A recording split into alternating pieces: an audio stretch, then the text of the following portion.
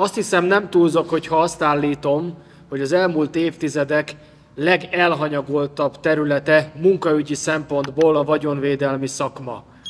Átláthatatlan, szövevényes körülmények, sokszor pénzmosásra használt cégek, kiüresített tanfolyamok, embertelen munkakörülmények, megalázóan alacsony bérezés, és a sor még hosszasan folytatható, nem beszélve arról, hogy a biztonsági őrök egy hónapban jóval többet dolgoznak, mint más munkavállalók. Ez nagyon megterheli az emberi szervezetet, már csak ezért is nagyobb megbecsültségnek kellene, hogy örvendjenek, de azt látjuk, hogy ez messze nincs így.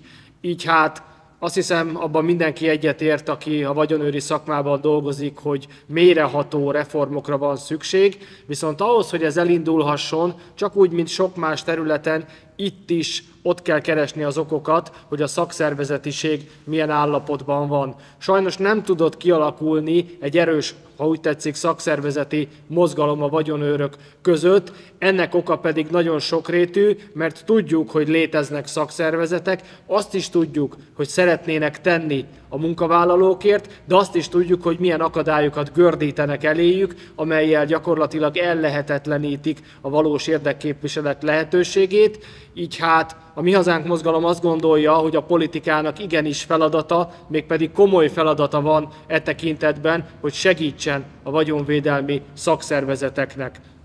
Felajánljuk tehát a rendelkezésre álló eszközeinket, hogy elősegítsük a közös ügyünket, hogy a vagyonvédelemben dolgozókat, a biztonsági őröket olyan körülmények közé juttassuk, amelyet nekik jár. Akár gondolok itt jogszabály, törvénymódosításokra, tehát a lényeg, hogy egy közös konzultációra hívok innen is minden szakszervezetet, aki a biztonsági őrökkel foglalkozik, mert csak így egy széleskörű összefogással lehet elindítani egy olyan folyamatot, amelynek a végén egy megbecsült biztonsági őr terület szakma lesz, úgyhogy még egyszer mondom, megbecsülést kell adni a vagyonvédelmi dolgozóknak, mert ők is igenis nagyon fontos munkát végeznek.